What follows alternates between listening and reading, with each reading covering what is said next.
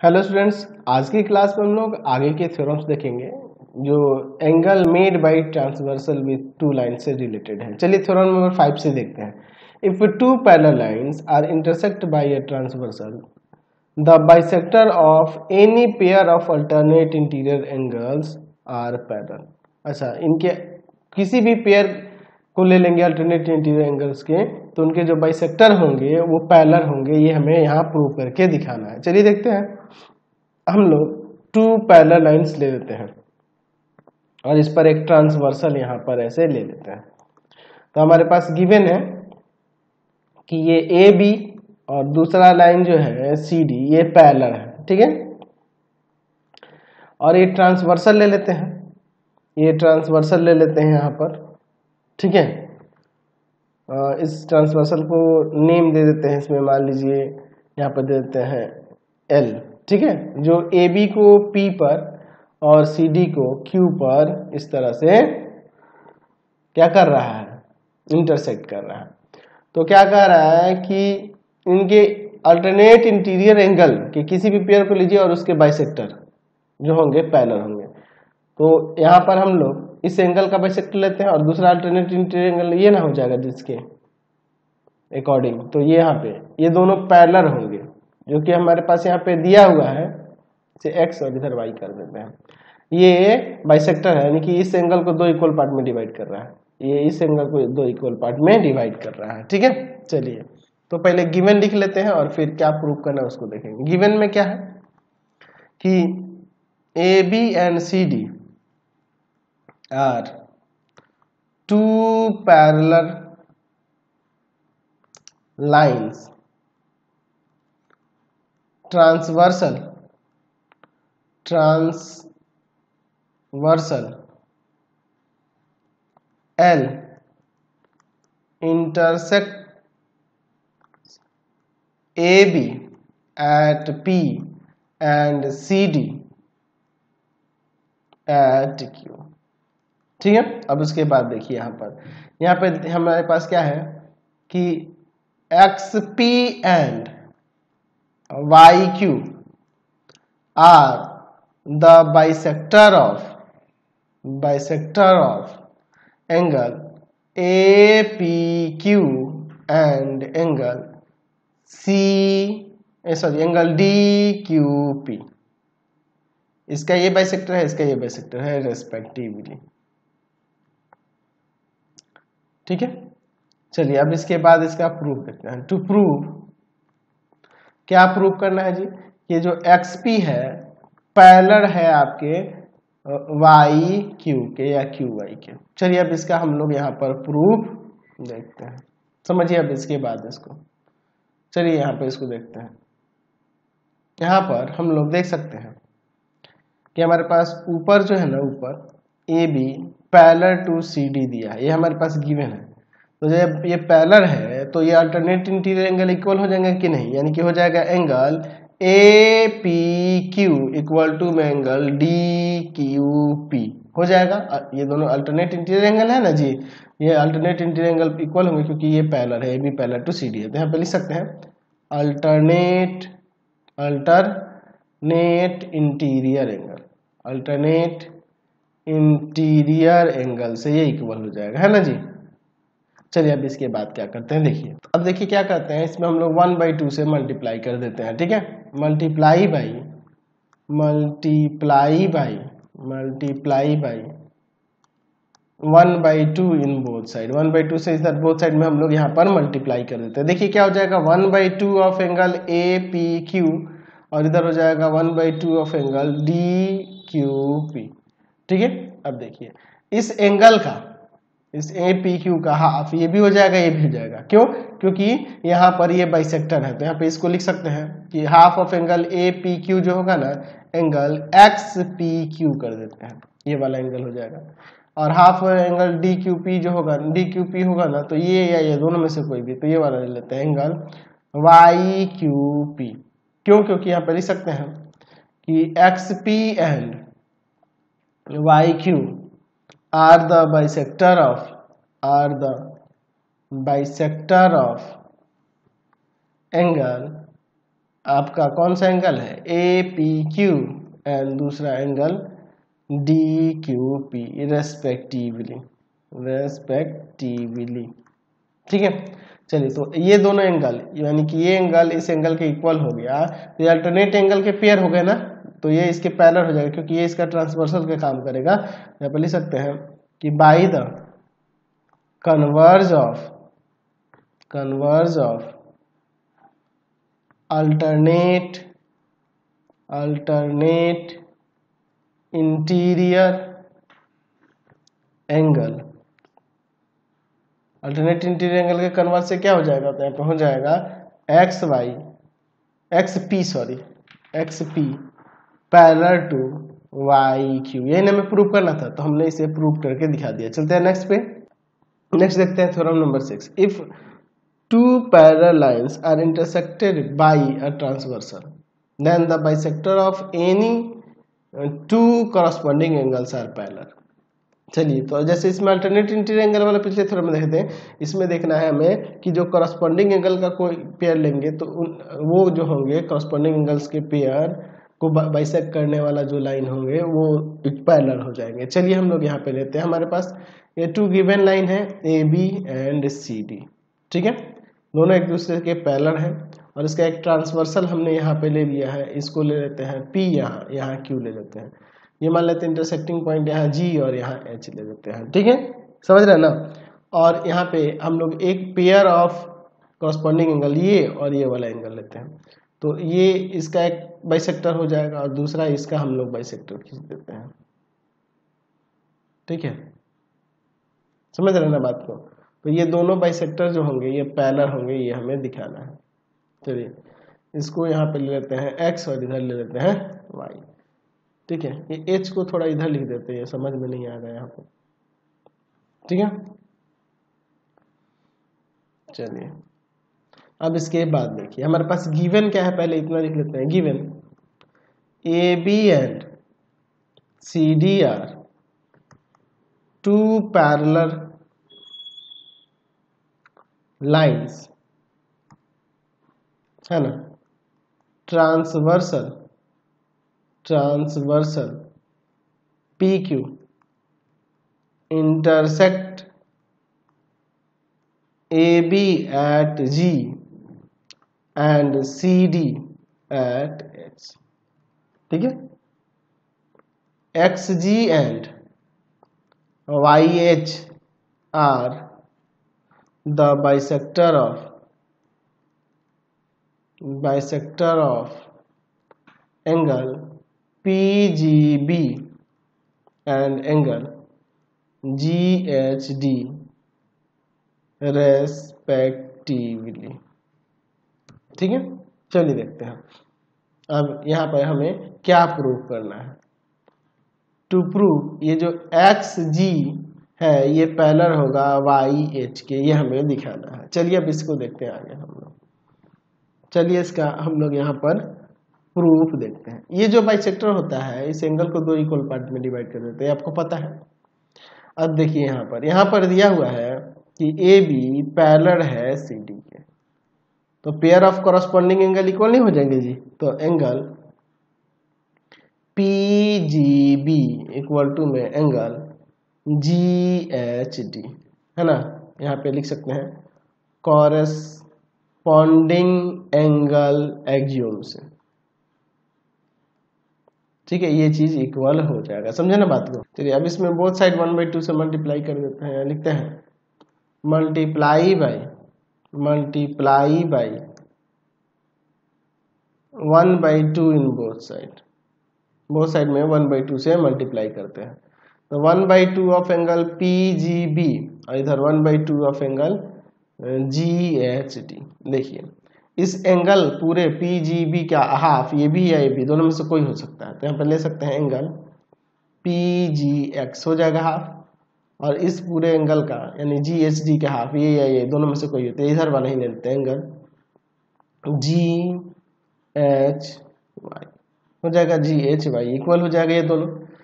है ना जी? तो यहाँ पे क्यों हो रहा है रीजन लिख देंगे कि X G and Y H are two bisector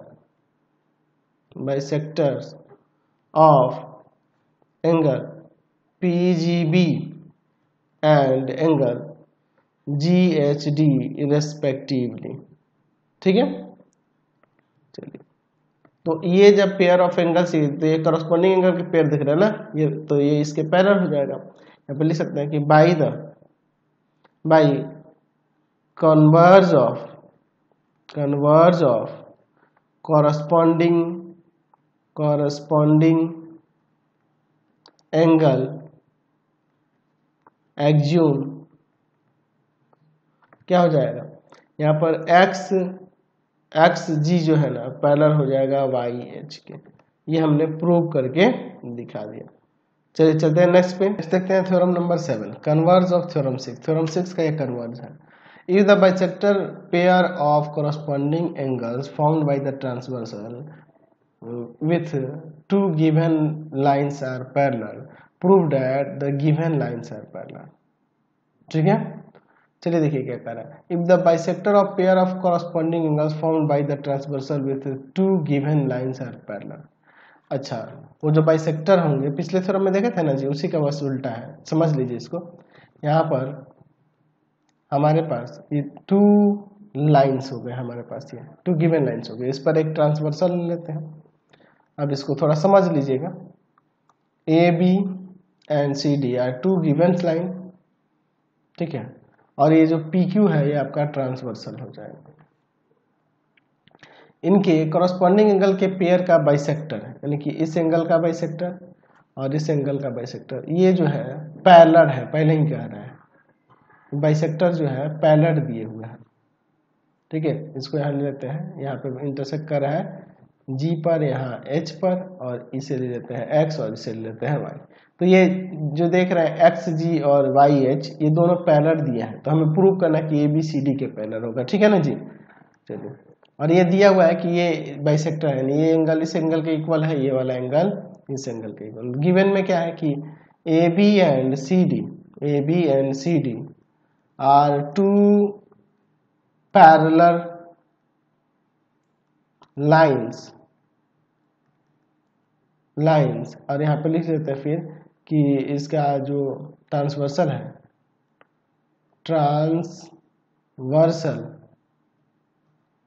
transversal P Q intersect A B at G and C D at H ठीक है? और क्या दिया है कि यहाँ पर X G Y H are the bisector of bisector of angle PGB and angle GHY ठीक है? और यहाँ दिया हुआ है कि ये जो एक्स जी जो है ना पैलर दिया हुआ है वाई एच के। ठीक है? टू प्रूव टू प्रूव क्या प्रूव करना है कि ए बी जो होगा पैलर होगा सी डी के चलिए अब हम लोग इसका यहाँ पर ये प्रूफ देखते हैं। बहुत ही अच्छा क्वेश्चन है, देखिए इसका प्रूफ यहाँ पर। हमारे पास यहाँ पर कह रहा है कि एक्स जी जो है ना पैलर है वाई एच के। ये गिवन है। तो ये पेयर ऑफ़ करस्पॉन्डिंग एंगल्स जो होंगे, ये इक्वल हो जाएँगे। ये दोनों पैलर है तो ये ट्रांसवर्सल का काम करेगा। तो ये दोनों एंगल इक्वल होंगे ना? जी तो angle H G P sorry H लिख रहा हूँ मैं एच नहीं ना। पी जी एक्स लिख देते हैं, ये वाला angle angle P G X equal to angle G H Y corresponding angles axiom से। कॉरेस्पॉन्डिंग एंगल एग्ज्यूम से। हो जाएँगे इक्वल अब इसमें हम लोग टू से मल्टीप्लाई कर देते हैं, क्योंकि इसका डबल ए पूरा एंगल हो जाएगा और इसका भी डबल ए पूरा, क्योंकि ये आपके बाइसेक्टर है तो दो इक्वल पार्ट में डिवाइड कर यानी कि इसका डबल ए पूरा और इसका भी डबल ए पूरा। तो यहाँ लिख सकते हैं चलिए तो अब यहाँ पे लिखते हैं, यहाँ पर क्या हो जाएगा? Multiply by multiply by two in both side देखिए बोथ साइड टू से मल्टीप्लाई करने पर क्या हो जाएगा? Two angle P G H X और यहाँ पे two angle G H Y तो इसका डबल ये पूरा, इसका डबल ये पूरा। यानी कि ये हो जाएगा एंगल यहाँ पर कौन सा? पी जी बी और इक्वल टू में एंगल जी एच डी ऐसा क्यों हो रहा था? आप लिख सकते हैं कि X G and Y H are the bisector of angle B and angle G H D ठीक है? चलिए तो ये पूरा एंगल जब इसके इक्वल हो गया तो ये तो पेयर ऑफ़ करस्पॉन्डिंग एंगल्स है तो ये इसके पहले नहीं हो जाएगा तो यहाँ पे लिख सकते हैं कि by converse of converse of converse of corresponding corresponding angle axiom क्या हो जाएगा? करस्पॉन्डिंग एंगल एक्ज्यूम से। A B parallel to C D हो जाएगा। ये हमने यहाँ पे प्रूव करके दिखा दिया। समझ गए? चलते हैं नेक्स्ट पे। नेक्स्ट देखते हैं theorem number eight if a line is perpendicular to one of the two given parallel line then it is also perpendicular to the other line चलिए देखिए क्या कह रहा है।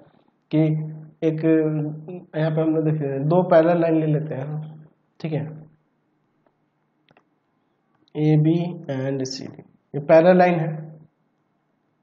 और एक हम लोग परपेंडिकुलर यहाँ पे ले लेते हैं। ये लाइन एल जो है लाइन एल इसको ले लेते हैं, जो कि परपेंडिकुलर है किस पर? ए बी पर। ठीक है? परपेंडिकुलर है। अच्छा ये लाइन एल जो है ए बी को या सपोज़ कर रहे थे कि जी पर और सी डी को एच पर इंटरसेक्ट कर रहा है।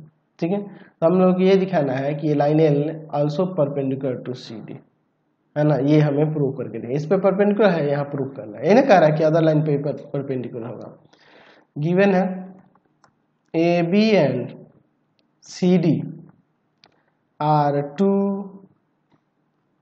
parallel lines है ना? फिर उसके बाद क्या करना है? And a line L which is perpendicular to line AB ये लाइन एल जो है बी परपेंडिकुलर है. To prove to prove L जो होगा सी डी पर भी परपेंडिकुलर होगा. चलिए हम लोग इसका यहाँ प्रूफ देखते हैं. ठीक है? अच्छा इसमें देखिए अब क्या करते हैं। यहाँ पर इसको एंगल वन एंगल टू कर देते हैं यहाँ पे। ठीक है? तो अगर हम लोग देखें ए बी दिया है पैलर सी डी के, ये गिवन है। तो जब ये A B parallel C D के हैं तो यहाँ एंगल वन एंगल टू के इक्वल नहीं हो जाएगा, जी। कैसे होगा एंगल वन एंगल टू के इक्वल तो यहाँ पे ये करस्पॉन्डिंग एंगल एक्ज्यूम से हो जाएगा। करस्पॉन्डिंग एंगल एक्ज्यूम से ये क्या हो जाएगा? इक्वल हो जाएगा। तो ये दोनों एंगल इक्वल हो गया। एंगल वन कितना होगा? 90 होगा। क्यों? क्योंकि ये इस पे परपेंडिकुलर है। तो एंगल टू भी 90 आ गया। ऐसा क्यों? क्योंकि हम लोग देख रहे हैं कि एल जो है परपेंडिकुलर है ए बी पर। इसलिए ये एंगल 90 हुआ तो एंगल वन एंगल वन 90 तो एंगल टू भी 90 आ गया। और जब ये 90 हो गया, ये 90 हो गया, इसका मतलब परपेंडिकुलर है। तो यहाँ पर लिख सकते हैं। हैंस एंगल टू नाइन्टी होने का मतलब क्या है? Hence line L perpendicular to C D ये हमने प्रूव करके दिखा दिया। तो यही आपके इसमें थ्योरम थे, सारे थ्योरम मैंने बता दिया नेक्स्ट वीडियो में हम लोग एक्सरसाइज में चलेंगे, वहाँ क्वेश्चन को देखेंगे। आपको हमारे तीन चैनल को सब्सक्राइब करना होगा। पहला है path finder classes Chhapra.